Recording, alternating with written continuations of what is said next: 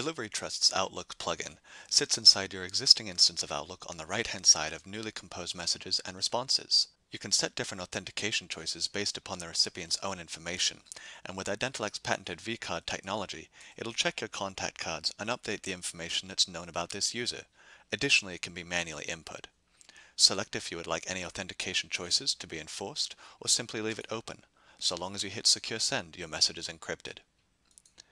You can also set different restrictions on the recipient's capabilities, whether it's disabling printing, forwarding, downloading of the message, or even a discrete read receipt notice or message expirations.